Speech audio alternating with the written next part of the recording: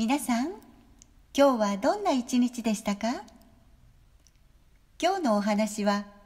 昭和60年に出版された向田邦子さんのエッセイの中から選びました。少し古いお話ですが聞いてください。ゆで卵。小学校4年の時クラスに片足の悪い子がいました。その子は足だけでなく片目も不自由でした。背も飛び抜けて低く勉強もビリでした。ゆとりのない暮らし向きと見えて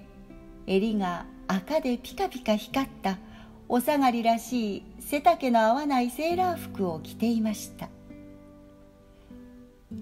性格もひねくれていて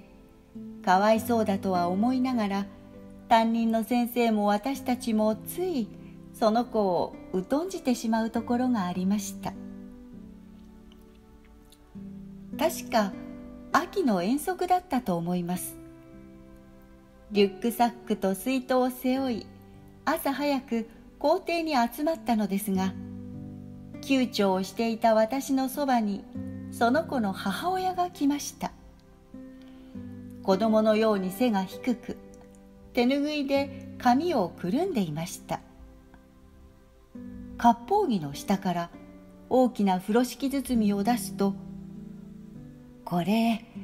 みんなで」と小声で繰り返しながら私に押し付けるのです。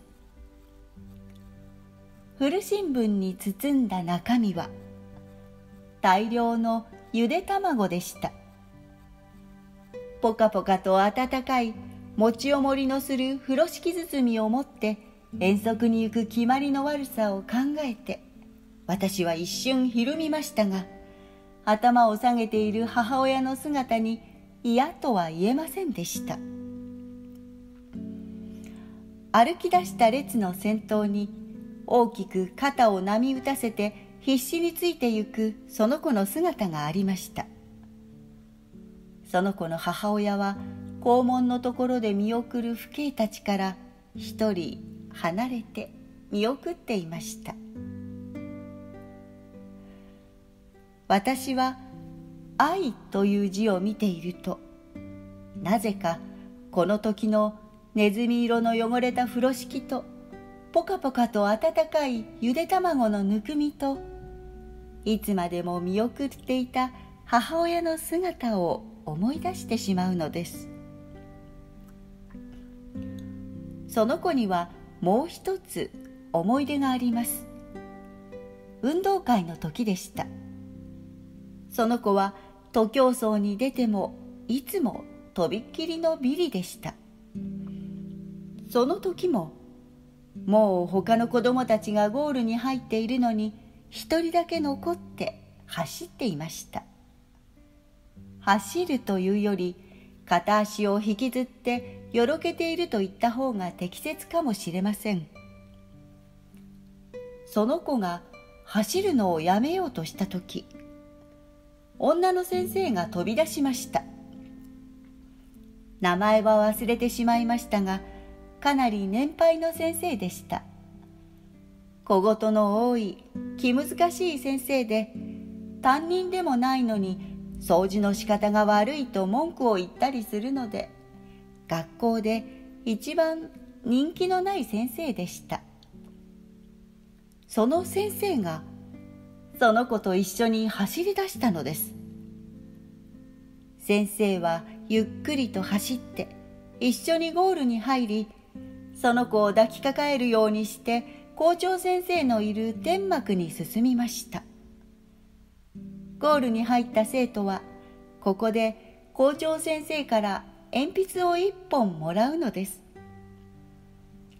校長先生は立ち上がると体をかがめてその子に鉛筆を手渡しました「愛」という字の連想にはこの光景も浮かんできます。今から40年も前のことです。テレビも週刊誌もなく子供は愛という抽象的な単語には無縁の時代でした。私にとって愛はぬくもりです。小さな勇気でありやむにやまれぬ自然の衝動です。神は細部に宿りたもうという言葉があると聞きましたが私にとっての愛のイメージはこの通り小さな部分なのです聞いてくださってありがとうございました明日も皆さんにとって良い一日になりますように。